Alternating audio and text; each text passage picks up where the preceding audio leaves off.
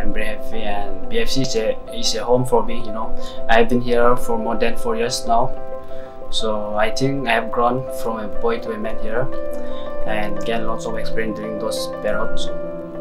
Thank you. And to all the fans who supporting us, keep supporting us.